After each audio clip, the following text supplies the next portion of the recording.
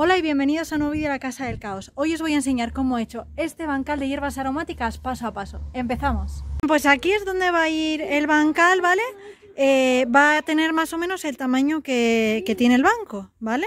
Y voy a poner ahí las hierbas aromáticas. Así que venga, vamos a empezar a cortar la madera.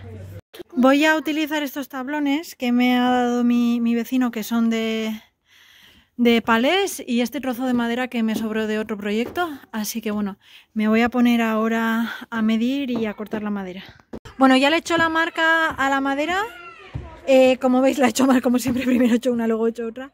Eh, así que bueno, ahora lo que voy a hacer es cortar por aquí y la otra pieza del otro lado igual. Vale, una vez que ya he cortado el primer tablón, en vez de medir los siguientes también con el mueble, pues lo que voy a hacer es hacerlos todos de la misma medida. Entonces, he puesto aquí los dos tablones a la par y ahora le voy a hacer aquí la rayita con el lápiz. Y ahora ya, pues cortaré con esa medida eh, los otros cuatro. Vale, mientras, mientras los niños siguen cortando esto, yo voy a medir las otras tablas, las del ancho. Vale, pues ya he marcado esta madera, que es para el ancho, Aquí como veis va a ir así, bueno, así. Pero aquí de esta misma pieza he podido sacar dos, ¿vale? Así que bueno, cuando acabemos de cortar esas, cortaremos estas. Para poder atornillar luego los paneles eh, en resí, lo que voy a hacer es cortar de este trozo de madera, que es como cuadrado, voy a cortar unos cachitos así para que entonces luego pues le ponga estos en este lado y estos en este lado y se mantenga bien atornillado. Eh, entonces, eh, en vez de medir pues lo que voy a hacer simplemente es ponerlo así y hacerle una rayita aquí a la altura y voy a cortar de esto cuatro pedazos. Vale, pues ahí tenemos la marquita y ahora de este haré cuatro. Por supuesto he hecho un fallo porque se me ha olvidado calcular el ancho de la madera. Así que bueno, pues como os podéis imaginar aquí me, sobran pues como unos 3 o 4 centímetros. Así que bueno, le voy a hacer ahora una raya aquí y voy a cortar esta pieza a esa medida. Menos mal que, lo he probado antes de, de cortarlas todas. Esta está perfecta, me va de aquí a aquí, pero claro, como he cortado esta con todo el ancho del banco, pues al final me sobra un cacho, porque ya el ancho de la madera le quita un poco, el ancho de las dos. Bueno, que tengáis eso en cuenta antes de hacer el mismo fallo que yo. Bueno, pues ya le he cortado la pieza, la he arreglado y ya se ha quedado perfecto, así que ahora voy a hacer las demás con esta medida. Entonces la estructura va a ir como así, ¿vale? Va a llevar aquí una tabla, aquí otra tabla y aquí esta pieza en medio para poder atornillarlas bien. Y lo que va a llevar es eh, otra tabla más de altura, ¿vale?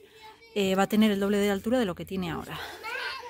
Bueno, las tablas ya las he cortado, ahora solo me falta cortar de esta pieza otras tres. Pues así seguiría la construcción, esta hora las piezas cortadas me cansan mucho con la sierra de mano, pero ya sabéis que me da miedo usar la otra. Eh, esto sería eh, la estructura con las piezas eh, cortadas y montadas. Bueno, ahora me falta, voy a lijar un poquito, voy a encerar y atornillar. Pero eso ya mañana porque ahora ya son, bueno, casi las 9. Ya se está acabando la hora de hacer ruido aquí en Alemania y encima hoy es Eurovisión y lo quiero ver, así que venga. Mañana seguimos con lo demás días, ya estoy aquí de vuelta. He estado pensando por la noche que a este cuadrado, por así decirlo, a lo mejor cuando le eche tierra eh, se hincha y le falta estabilidad en el centro. Así que he pensado que de esta pieza de madera voy a cortar otra para el centro, se la voy a poner así tumbada así de, de canto, para evitar que se, que se ensanche cuando le eche la tierra y tenga tanto peso dentro que se vaya a bombar. Así que bueno, voy a cortar esa pieza y ya después me pongo a lijar. Cortar y me he dado cuenta de que le iba a quitar demasiada altura ya que tiene casi la misma altura que esto. Le iba a quitar casi la mitad de altura en el sitio donde se la pusiera. Así que he cogido esta tabla que es más fina, que no le va a quitar tanta altura así.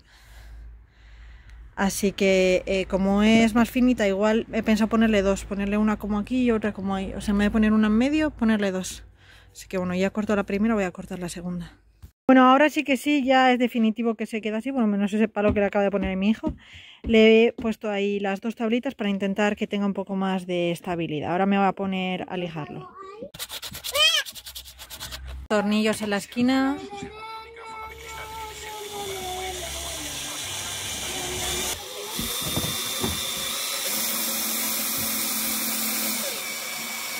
Bueno, eh, ahora lo que voy a hacer es aplicarle a la madera esta cera oscura de muebles eh, como veis es así, se unta en el trapo y se aplica sobre la madera.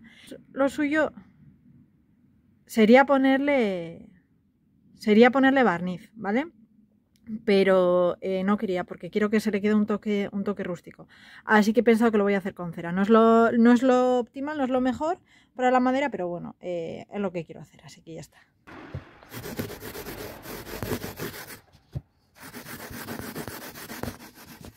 Yo súper contenta porque esta vez sí que me había acordado de ponerme guantes para hacer esto y al final el guante se ha roto y me manchado las manos igual.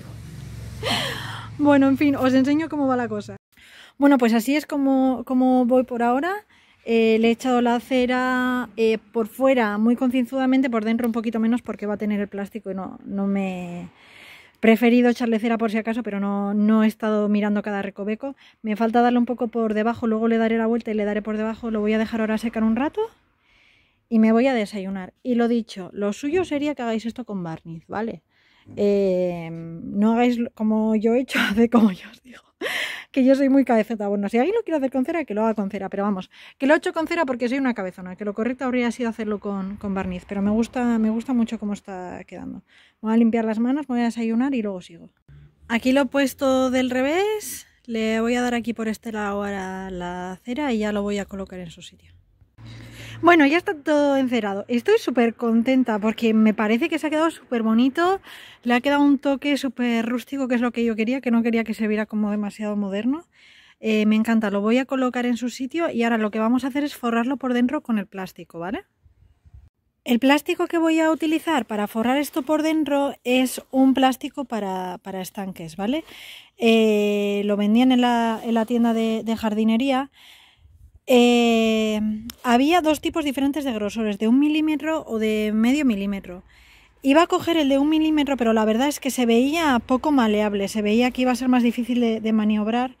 Entonces, bueno, al final decidí coger el que era un poco más fino. Me dijo el de la tienda que aún así era muy resistente. La verdad se ve bien, se ve bien duro, ¿eh? no parece cualquier plastiquillo, se ve bien duro. Eh, y lo que voy a hacer es eh, graparlo con la grapadora por, por todo el borde, ¿vale?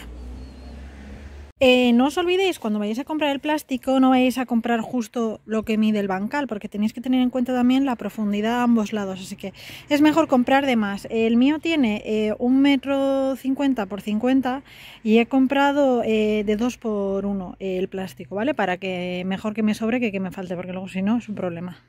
He decidido empezar a grapar aquí en el centro para que luego dependiendo de lo que me sobre a cada lado pues ya eh, veré cómo le doblo las esquinas y si le corto o no entonces he empezado a grapar aquí ahora voy a grapar toda esta fila de aquí a aquí y luego vemos cómo hacemos las esquinas bueno, pues así vamos por el, por el momento, ¿vale? Este lado ya está todo grapado, también le metí un par de grapas abajo para que se quedara bien pegadito aquí y ver también más o menos lo que me queda. Aquí en la esquina, como veis, me sobra un poco, lo que voy a hacer ahora será doblarlo, graparlo así como mejor pueda para protegerlo mejor este, este palo de aquí y luego al final del todo ya recortaremos el sobrante. Voy a hacer lo mismo por aquí y seguimos. Bueno, pues ya está el bancal, jo, estoy súper contenta. Estoy muy orgullosa de mí misma, de lo bien que ha quedado. Y, hombre, a ver, por supuesto, no ha quedado súper profesional el plástico y tal, pero bueno, para mí estaba perfecto. Ya sabéis que yo tengo el lema de que es mejor hacer las cosas lo mejor posible que dejar un proyecto estancado por querer hacerlo perfecto. Así que bueno, yo estoy muy contenta. Eh, ahora le voy a echar eh, compost y tierra y vamos a, plantar eh, nuestras plantitas aromáticas. Y también voy a sembrar algo de manzanilla y de perejil creo que también. Bien, lo primero que vamos a echar es este saco de compost y luego vamos a echar este saco de tierra y luego voy a poner a poner las plantas, ¿vale? Bueno, he colocado las plantas más o menos en la posición en la que van a ir. Aquí va a ir la salvia, el, el tomillo y el romero, que se llevan bastante bien en resi. En la menta no se suele llevar bien con nadie, pero bueno, he pensado ponerla ahí a ver si hay suerte.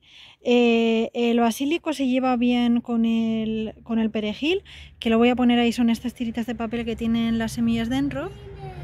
Y eh, luego lo que voy a hacer es simplemente de un sobre de manzanilla eh, normal, echarlo encima al final porque las semillas de manzanilla necesitan sol directo para, para germinar, ¿vale? Así que eso lo último. Ahora voy a ponerlo todo, voy a poner las semillas y bueno, al final ya os enseño qué tal ha quedado.